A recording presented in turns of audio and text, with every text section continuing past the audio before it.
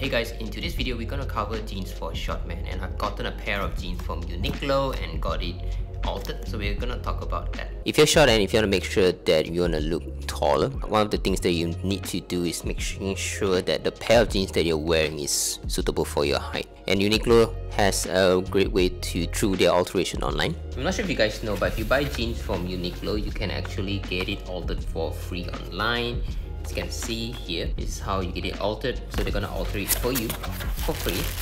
And I got this altered for my inseam which is 16.9 cm and today's video we're gonna see how accurate is the online measurement compared to if you were to do this offline. Personally, I do prefer to shop online. As an introvert, I personally don't like crowds a lot. So most of my things are bought online.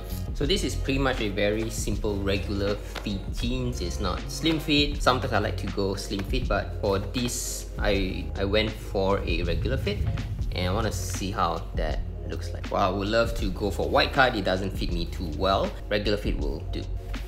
It's the first look, I'm not wearing any shoes. Personally, it's still a tad too long for me. Normally when I go 69cm, it's not as long as this. So in the future, if I were to do it again, I will definitely go centimeter shorter. So this is the look with an elevated shoe as well as the jeans fold up once. What do you think? Is it better?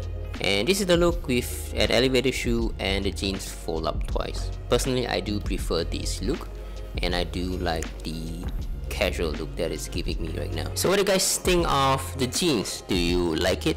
Do you not like it? Personally, I would do a CM shorter in the future. This is my first time getting it altered online, but I have to say that it's a good experience since and also because it's free. Remember we're Asian, we love free stuff. The past I would get it altered when I'm at the store but I've never really gotten the best experience and the reason is because I, I personally don't like waiting for too long or going back to the store in order to just get my pair of jeans. If doing it online, I can just purchase it at the comfort of my seat, getting altered, get sent to me. And the wait time is about 3 days from purchase to when I actually receive it. So it's actually a great experience.